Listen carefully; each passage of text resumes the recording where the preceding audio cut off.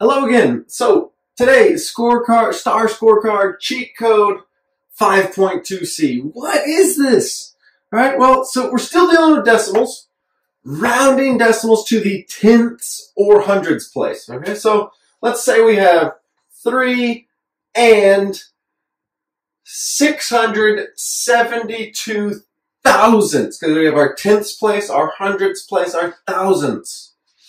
The whole objective of rounding a decimal is, say we're going to round to the hundredths place. So this is the hundredths place, right? We need to look to the decimal to the right. So we're going to have to look at the two. Does the two make the seven go up or stay the same, right? So five goes up like a high five, high five, right? If it's five, six, seven, eight, nine, your goods are going to round up, okay? If it's zero, one, two, three, four, it stays the same. So four stays the same. It's just, it's just a hold. So if we're going to round it to the nearest hundredths place, that would be three and 67 hundredths because the two stays the same. Now, let's look if we're going to round it to the tenths place. We need to look at the seven. Ooh, seven is goes up. Three point three and seven tenths. So that's how we're going to round. That's the whole 5.2c is all about rounding decimals to the tenths and to the hundredths place. So look to the right of the digit that you're rounding, right? The digit to the right will determine if the value will round up, high five, five, six, seven, eight, nine goes up, or if it's four or down, four, three, two, one, zero, it's just going to stay the same number. Right. Vocabulary. Anytime you have estimate, about, a little more or less than, right? A little. It's close to or approximately. All of that language, all of those words are used for rounding.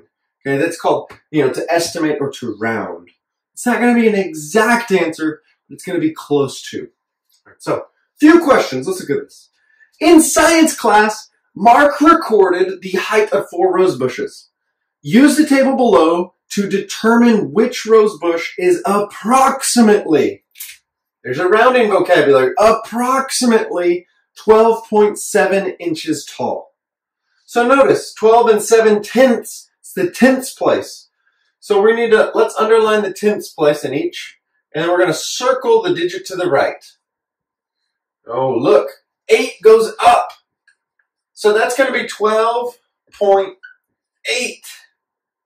Not it. That's not rosebush A. 12.64. So 4 is down, stays the same. So that's going to be 12.6. 12.75. Well, 5 goes up. Right? So 12.75 is 12.8. 12 and 8 tenths. Oh, okay. 12. This is 8 goes up, right? 12.7. Rosebush D. And again, on your STAAR test, you want to, I am begging you, please write, please write scratch work on every single question. Okay? None of this is mental math. And if it is, just prove that your mental math is right. A car rental service charges customers for the number of miles they travel, rounded to the nearest hundredth. Rounded to the nearest hundredth. So let's underline our hundredths place. That's the second digit, right? hundredths place.